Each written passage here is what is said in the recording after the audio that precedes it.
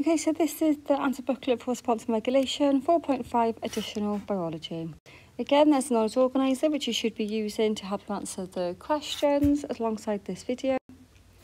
John stands at a pedestrian crossing. When it's safe to cross, the crossing makes high-pitched sound and a light flashes green.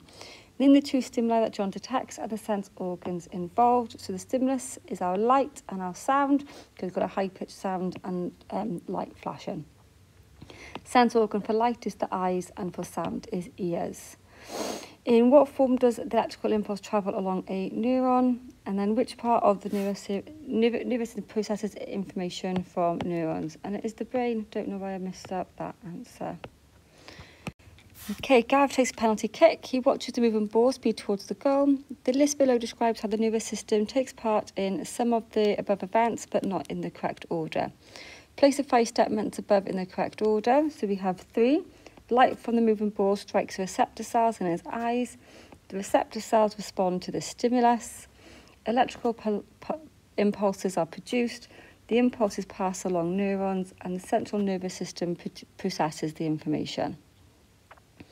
The eye is a sense organ. Stick the name of one other sense organ and the stimulus it detects. So we've got the nose, and it can detect chemicals. You could have done um, ears and sound, etc., but I've just chose a different one for you.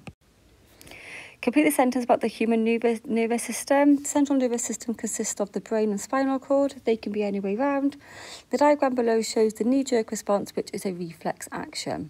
Apart from being very fast, state one other feature of all reflex actions. They're protective and automatic. Give one other reflex action which occurs in the body. So we've got blinking to protect the eye. You've got pulling away your arm or your leg to prevent harm. And your pupil change to protect your eye from the amount of light it can take in. Define a reflex action. Describe the reflex arc involved in the blinking response to a flashing light. So the stimulus is detected by receptor cells in the eye. The stimulus is the light. The receptor cells pass electrical impulses to the sensory neuron. The sensory neuron sends the impulse to the relay neuron in the spinal cord. The impulse is then passed to a motor neuron, and then it travels to an effector, which always tends to be a muscle or a gland, to cause an effect. The diagram shows a pathway taken by nerve impulses which help bring about changes in the diameter of a pupil. On the diagram, you use an arrow to show a label to use an arrow to label the motor neuron. So the motor neuron, oh, missed that question, is this one. Is our motor neuron. The stimulus which causes the change in the inner diameter of the pupil is our light. The receptor which receives the stimuli is our retina. The effector is the iris, that's the muscle. Describe how the de decrease in diameter of a pupil demonstrates the three most important features. It's fast, protective and automatic. Diagrams A and B below show the skin under two different environmental conditions. Which of the diagrams show the skin on hot conditions? It's A, we can see the sweat that is being produced. Gives a big clue. Give two reasons for your answer. The erector muscle, which is here, is, um, is relaxed, so the hair is lying flat, and sweat is produced and released from the sweat pore. If blood vessels had been drawn on the diagrams, blood vessels in the skin in diagram B would be narrower than in A. Explain how this helps control the body temperature because less blood flows, which reduces heat loss from the surface of the skin for your second mark. State how structure acts on the diagram causes the hair to appear as, as it does in diagram B. It's because the erector muscle contracts, which causes the hair to stand up. The diagram shows a section through the skin Label parts A and B, so A is the hair and B is our sweat gland. The diagram, the graph shows the body temperature of a player during the course of a rugby match. So on the information here, you can see during half time, his body temperature is really, really high and it decreases rapidly in the 20 minutes or so they are, um, he's on half time. Two responses made by the skin to cause a change in the body temperature observed between 340 and 410. That's his half time. So vasodilation and the hair erector muscle relaxes because he's hot, he's trying to cool himself down. So vasodilation and the erector muscle is relaxed. You could have put sweat in as well. Explain how the narrowing of the blood vessels in the skin help maintain temperature in cold conditions. So now I'm doing the opposite. So again, less blood is flowing through the blood vessels, so less heat is lost. The diagram below shows the hairs on the surface of the skin of a cat at different air temperatures. Name the structures in the skin that raise each hair to the position of diagram A. We have the erector muscle. Explain why the skin in diagram A loses less heat than in B because the erector muscle contracts, causing the, skin, the hair to stand up. It traps air between the hair, which is an insulator, so it traps the heat. State two other ways in which the skin reduces heat loss, so vasoconstriction, narrowing of blood vessels, and no sweating.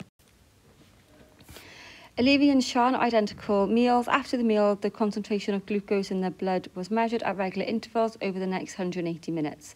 The graph below shows the results obtained.